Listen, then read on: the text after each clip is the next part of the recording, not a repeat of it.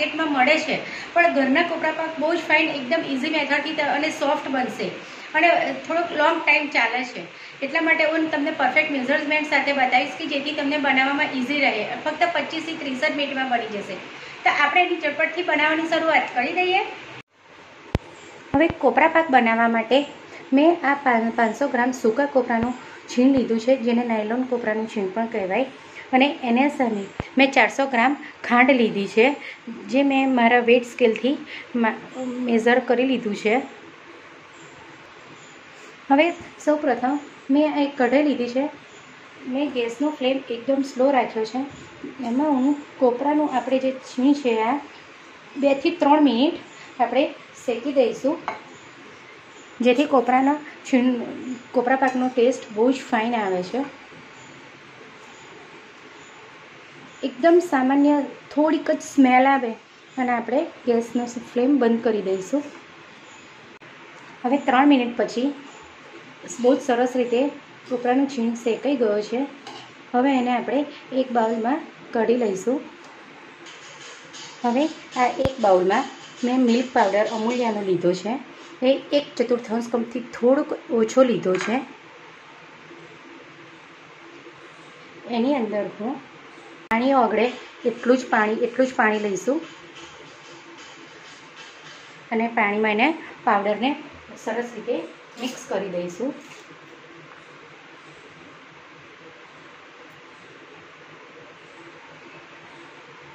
એની અંદર આપણે જે પાણી થોડુંક રહ્યું હતું, એ પણ એડ કરી દઈશું.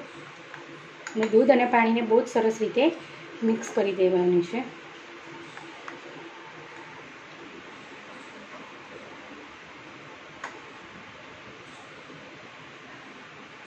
હવે આ એક કઢાઈમાં ચારસો ગ્રામ મેં ખાંડ લીધી છે.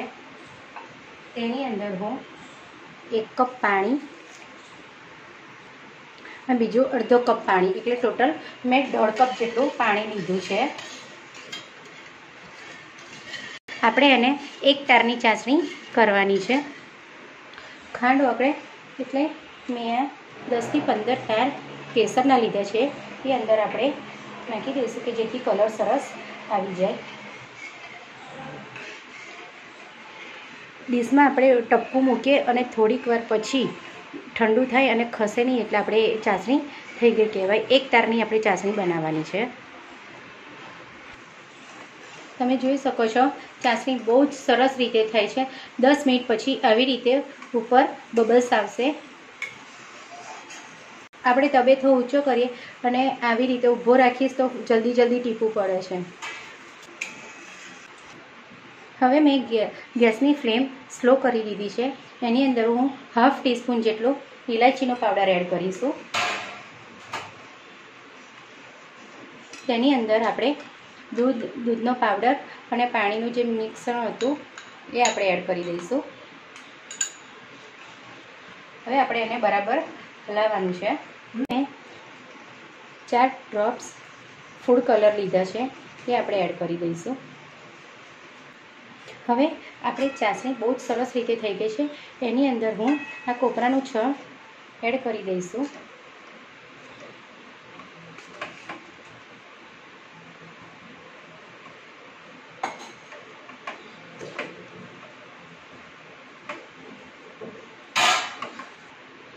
હવે એની અંદર હું એક ટેબલ સ્પૂન જેટલું ઘી એડ કરીશું. અને બરાબર સરસ રીતે હલાવી દઈશું. પહેલેથી જ એલ્યુમિનિયમ આ ટ્રે છે એની ઘીથી મેં ગ્રીસ કરી દીધી હતી.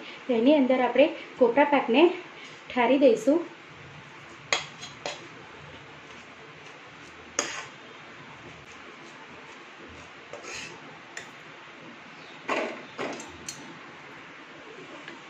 બહુ જ સરસ રીતે મેં ટ્રેમાં ઠારી દીધું છે. અમારી પાસે સિલ્વર પેપર છે. એટલે ચાંદીનું વર્ક છે તમારી પાસે એ હોય તો તમે એ પણ અત્યારે આવી રીતે આમ બનાવ્યા પછી ચોંટાડી શકો છો. એકદમ ધીમી રીતે ધીમેથી ચોંટાડવું.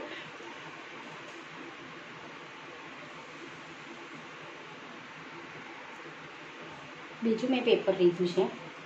એને આવી રીતે હું ધીમેથી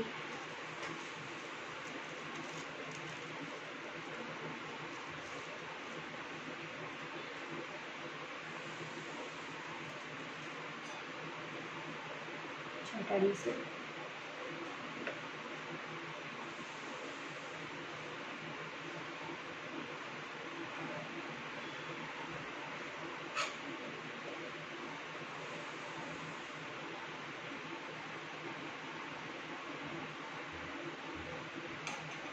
તો તૈયાર છે કોપરા પાક. આપણે એક ઠંડો થઈ જાય, ત્યાર પછી એના નાના નાના પીસ કરીશું.